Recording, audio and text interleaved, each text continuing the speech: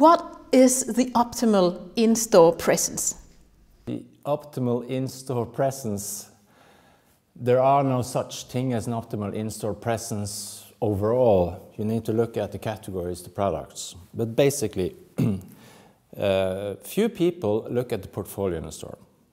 Uh, in most stores, or for most brands, 5 to 10% of the products accounts for 70, 80% of the sales. So first of all, you have to find this 5 to 10% of the products. Then, when people move along a store or go into a store, most people go along the wall. 75% of the people in any store we measure go along the wall. So it's very simple. You just place the best-selling products along the wall. and then you will start to sell more products. So talking about talking about selling, what is the key to increase sales and increase earnings in stores? To increase sales, you need to focus. Uh, most people make it much too complicated. If you look at a typical supermarket or a clothing store, whatever, they have, uh, they have so many products in there.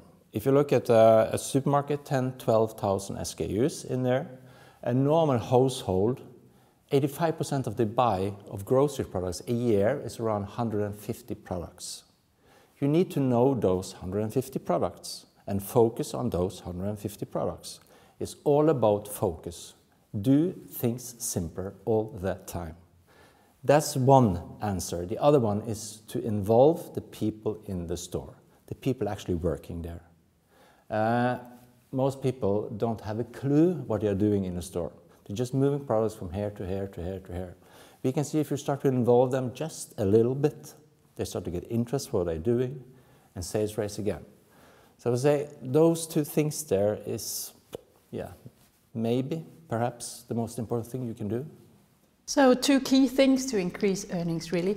Uh, the first thing is to focus on the best sellers. Yeah. Place them close to the walls, as you mentioned earlier. And the second thing is to, to involve, to engage the employees. Yeah. In the future, I guess, uh, how do you differentiate out there? Today, most of it is, is looking the same, everything, basically. You're going out, actually 20% of those people coming out of a supermarket or a pharmacy, they don't know which pharmacy or supermarket they've been into. 20%. So it's same, same. So what differ you from the rest? there are, again, basically two things. One is pretty obvious, it's service. If the employee sees you, say hello to you, make you smile, make you happy, it's good to be here, they recognize you when you're coming back, that's one thing that nobody's working with. It sounds so simple, it is so difficult to do. The other one is to create some kind of a theater in there. Yeah. If you have a slaughtering store, put them in front of everybody so everybody can see what he's doing. If you have a dish with fish, let they stand there and work in front of everybody.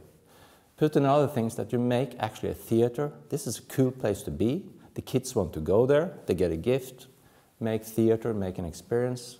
That's the future, I'm absolutely sure about it. Give people an experience. Uh, there's a lot of uh, opportunities when talking about shopper marketing, but how about the challenges, uh, the barriers that you experience when working with stores? It's people again, uh, because uh, most people in this, or, all management, have been in this business for years. And this, and uh, what I hear typically is this uh, will not work in our place. We have this is how we do it here, and they take most of the decisions out there based on I think and I feel.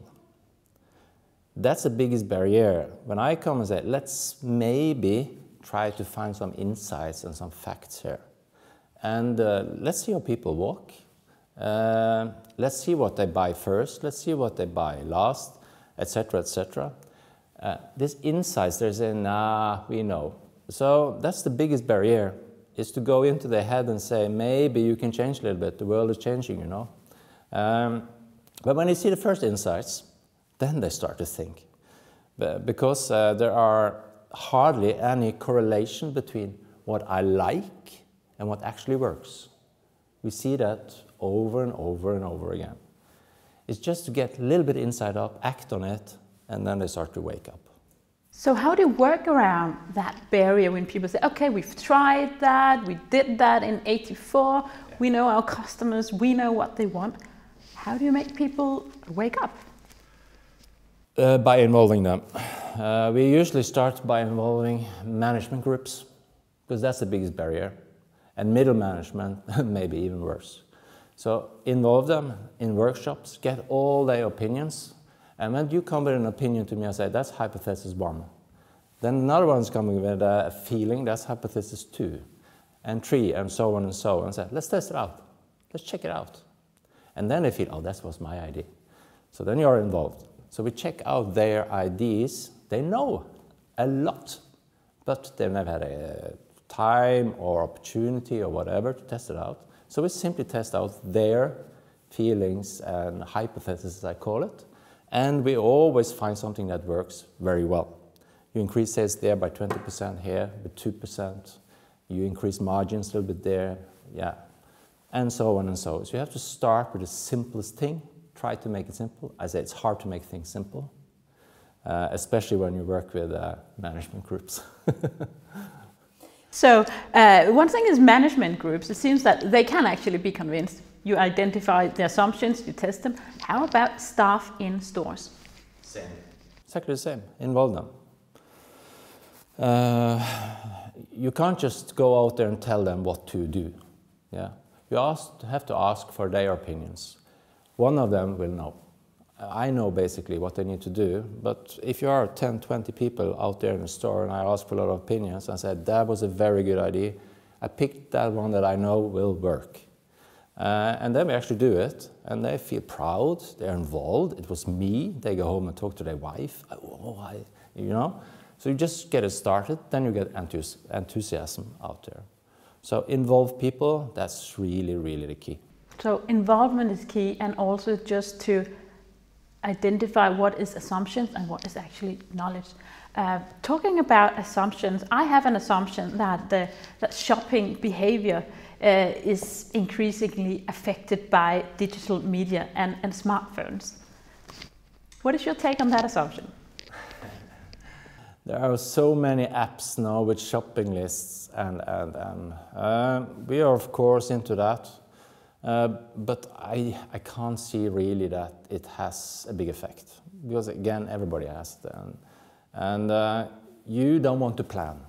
Yeah? You want it to be convenient and fast. Uh, so you don't want to plan at all. Yeah?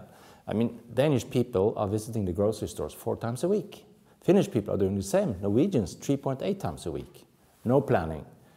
Uh, around 84% of those going home from work today, they do not know what to have for dinner. 55% of those going into the store do not know what to have for dinner. They don't want these apps. They want to go into the store and just pick their, oh, this phone, you know. What should we have for dinner today? Whatever. A Scandinavian family buy, in average, 10 dinners a year. The same 10 dinners a year. Yeah? So these apps and stuff, I am not so sure.